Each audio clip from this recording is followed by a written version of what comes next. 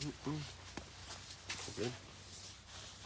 Hey guys, it's Corey with Gun Prime again. We had a few questions about some PDWs and what was a PDW. Uh, we even had a question about a shotgun, so we're gonna give you some content that y'all asked for. Uh, if you come over here, we've got a few different PDWs. Uh, what started it all back in the uh, 60s, I believe, was the H&K. You know, it's been in a lot of militaries for a while, but that 9 millimeter round uh, proved inferior to a lot of modern handgun, I mean modern rounds, such as your 300 Blackout. So what we have here is a Q Honey Badger as well, the SIG Rattler, and then the Daniel Defense that we showed the other day.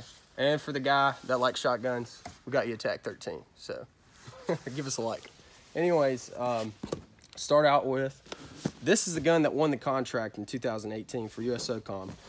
So it's a five and a half inch barrel. And what I was talking about versus the Daniel Defense earlier was it's got proprietary parts. So it's got an ambi uh, safety selector, but this is a piston driven system. That's why you can have this brace out here like that. But the problem is, even though you can get conversion kits for it, you couldn't use this lower for anything else. You can get conversion kits. So that's what SOCOM actually did was get conversion kits and put it on uh, standard lowers. But that's a big issue with that. That's going to be a one in five twist, I believe. So to stabilize a round, usually conventional wisdom says you want to have one rotation before it comes out the barrel. So that's probably why they sped up that uh, rotation a little bit with that five and a half inch barrel so it could go. Um, here's the Q Honey Badger right here. Local legend brought it in today. It's his truck gun. Connor, appreciate it. Uh, he's got it tricked out with a Trijicon MRO, a suppressor, a light, and a hand stop. He's actually probably using that hand stop, like I was talking about in the first video, to pull in and control recoil. Uh, versus the hand stop on the Daniel Defense that has it right here for its actual function, which is to prevent your hand from going too far forward with these short barrels. But um, some of the cool features, like I said, that I would actually put on a Daniel Defense if I had it too, was the suppressor. He's got a Surefire light on there. He's got the red dot. Um, some other cool features with the Honey Badger, it has their proprietary brace. It has a 45 throw on that safety in its ambi, flat face trigger. But once again, this is all proprietary. And what it helps out with is right here, you see how that's flush with the, um, the receiver right there? That, that makes it look cooler. It's more uh, streamlined, I guess you would say, compared to the Daniel Defense. You might, with the Daniel Defense, have a little trouble manipulating that safety with um, the brace so far forward, but I really don't think it's a problem. Anyways, like I said, with the Daniel Defense, this is a standard lower and upper, so you could customize it more so than you could with a Honey Badger. But all these have M-LOK, I believe, the modern PDWs, yep.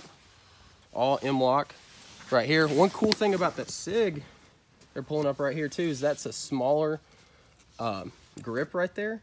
So that's good for putting in a backpack and whatnot. So the smaller grip, some people hate it, some people love it but it makes it more concealable. Let's see, what else? Oh, the TAC 13. These are all range toys, right? Oh yeah, since those are range toys, we got a real PDW. We've got a semi-automatic shotgun right here.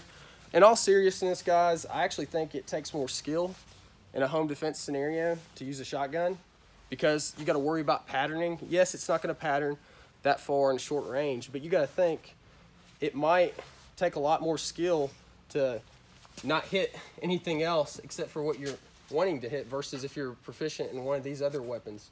And like I said, a 300 blackout round is very um, versatile compared to a 9 millimeter. 9 millimeter, you're not going to reach out and touch something at 300. With these, you can put supers in it, traveling about 1900 feet per second or so. You can reach out and touch something. Or you can put subs in there, and it'll be quiet with a suppressor so you're saying supersonic is like higher pressure, shoot faster. Subsonic is slower. Correct. Quieter.